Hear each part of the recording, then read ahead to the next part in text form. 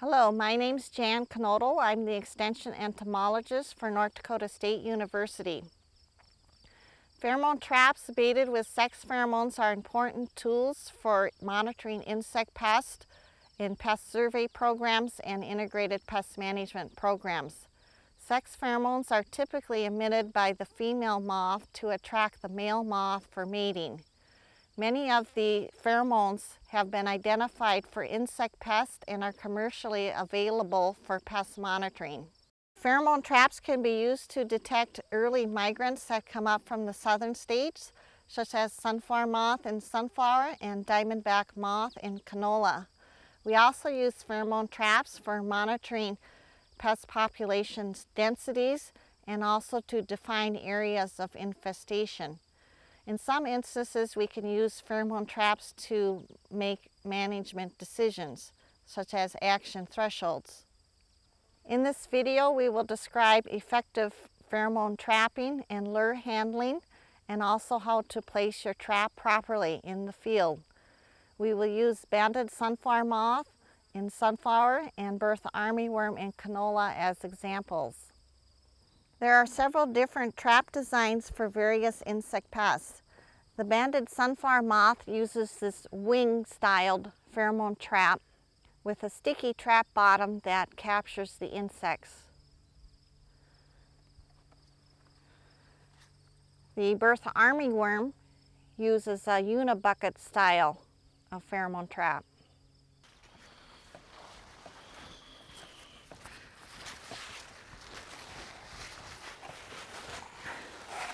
Pheromone traps are typically placed close to the field edge for easy access for monitoring. When you place the trap in the field, make sure the entryways to the trap are not blocked with vegetation. You also want to place the trap on the windward side of the field so the pheromone is dissipated into the field. Wooded edges are not good trap sites because the pheromones will not dissipate over the field. If more than one trap is being placed at a field site, traps should be spaced at least 60 to 120 feet apart to avoid possible pheromone interference. The chemicals on the pheromone lures are real sensitive to high temperatures, so we recommend that you store the lures in the freezer Keep them separated by each different insect. When you're ready to go to the field, take only the lures you need out. And place the lure in the cooler. And remember to put an ice pack in to keep the lure cold. And also your rubber gloves that you will need for handling the lure. Since vehicles can heat up quickly in the summer, use a small cooler with an ice pack to transfer the lures to the field. We recommend that you contact the pheromone manufacturer for the recommended interval of lure replacement in the field. For proper trap maintenance, we recommend that you service the trap at least once a week. This will prevent the trap from being overloaded with the targeted insect and make insect identification easier.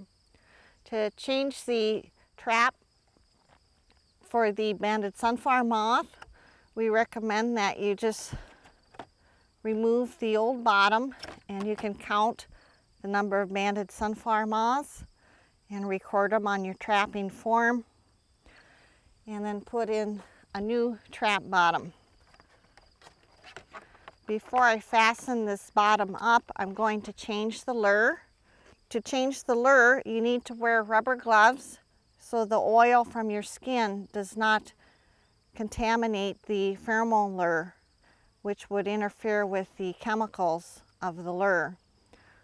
So remove the old lure from the lure holder and get the new lure out and place the new lure into the holder. Put the old lure into the packet. And then continue um, replacing the trap bottom because you want to avoid getting any of the chemical from the pheromone on the trap, which might cause the targeted insect to be attracted to other areas of the uh, trap rather than getting captured inside the trap bottom. When servicing the trap, be careful not to leave your gloves that you used for changing the pheromone lure or the pheromone lure and the old wrapper near the trap site because this could attract the targeted insect away from your trap. Now we're in the canola field and we're going to service the Bertha armyworm trap. I have my gloves on ready to go to change the pheromone lure. The lure is contained in this upper basket in the trap. This is the old lure. The new lure which I removed from my cooler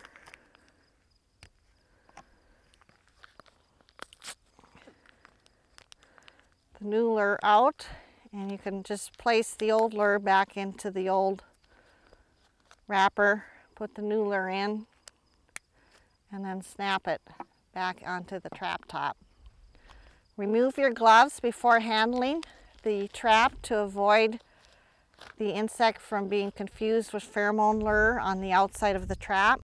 The moths are attracted to the pheromone and they'll fly into the trap and it down into the bottom of the trap where they become captured. And I've placed two red Vapona strips, which contains insecticide that kills the moths once they get down into the lower bucket. You can then place the moths that were captured from the previous week into a plastic bag. Take them back to the lab for identification and counting. and then put the trap bottom back on. And you're ready for another trap week.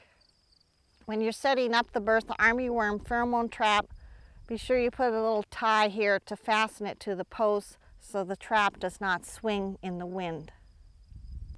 Information to record during each visit is shown in the sample field data sheet for pheromone trapping. Trap catches can also be graphed over time to easily show seasonal and year-to-year -year trends.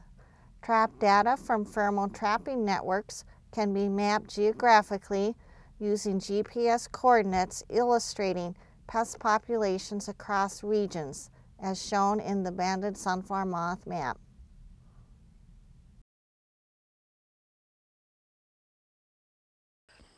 I hope you enjoyed learning how to use pheromone traps for effective pest monitoring.